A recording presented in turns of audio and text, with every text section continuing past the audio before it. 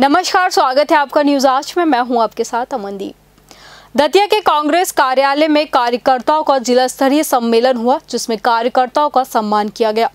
कार्यक्रम में कांग्रेस की स्टार प्रचारक साधना भारती मुख्य तौर पर शामिल हुई, जिन्होंने पीएम मोदी और मुख्यमंत्री शिवराज को जमकर कोसा।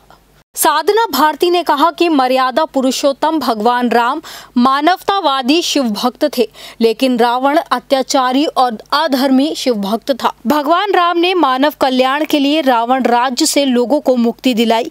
उसी तरह मानवतावादी राहुल गांधी मध्य प्रदेश से अहंकारी और अधर्मी भाजपा के रावण राज से जनता को जल्द मुक्ति दिलाएँगे। कार्यकर्ता सम्मान समारोह के कार्यक्रम की अध्यक्षता जिला अध्यक्ष नाहर सिंह ने की। वही कार्यक्रम का संचालन युवा नेता प्रांजुल सिंह चौहान ने किया।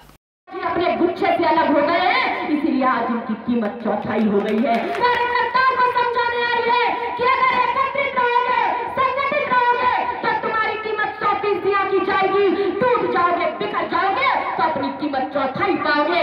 इसीलिए संगठित हो जाओ, एकत्रित हो जाओ। और एकत्रित और संगठित होकर इस सरकार के खिलाफ धावा बोलने का काम करो।